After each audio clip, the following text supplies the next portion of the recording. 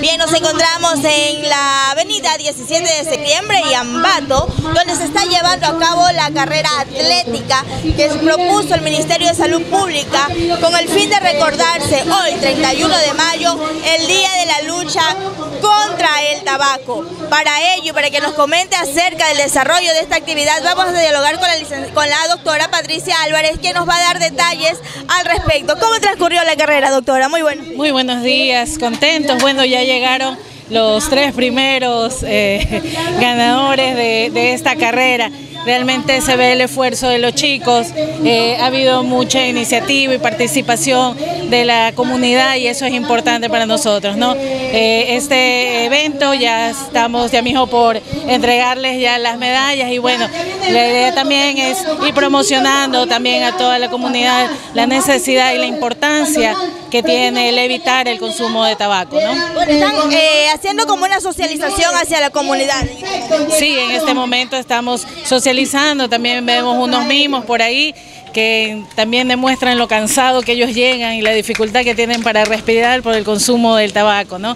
En, en este momento igual estamos dando todas las charlas educativas que van también a promover a que se limite el consumo de, eh, en este caso, del consumo del tabaco, ¿no? Bueno, afiches, boletines hacia la ciudadanía se están entregando en este momento. Sí, bueno, todos los afiches, eh, papelería también, todo lo que es eh, trípticos, dípticos, para informar un poco más a la comunidad sobre esta, las enfermedades y las consecuencias que puede provocar el, el uso del el mal hábito del tabaco. En todo caso han buscado la manera y la forma de llegar a la ciudadanía, vemos hasta mimos que han participado este día, ¿no? Sí, vemos mimos que nos han eh, ayudado de la parte de la universidad, también eh, agradecemos también a la Comisión de Tránsito, Policía Nacional, que también se encuentra ahí resguardando, bueno, a todos los participantes de esta carrera, pues, ¿no?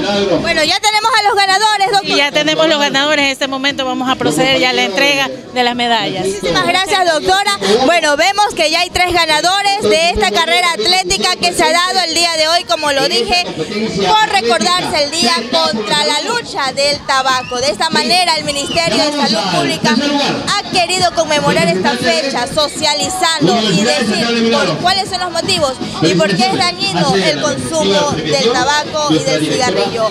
Con esta información y que están colocando las medallas tanto al primero, segundo y tercer lugar de esta competencia de atlética que se ha dado el día de hoy. En estos momentos están procediendo a la colocación de las medallas de acuerdo a los puestos que han quedado.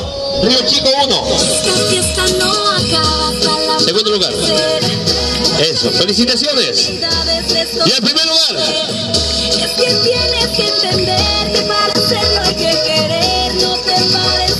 Tres K por la salud.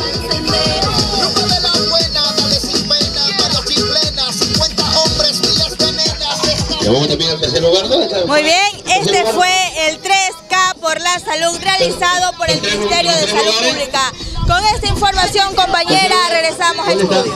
Venga con la fotito recuerdo.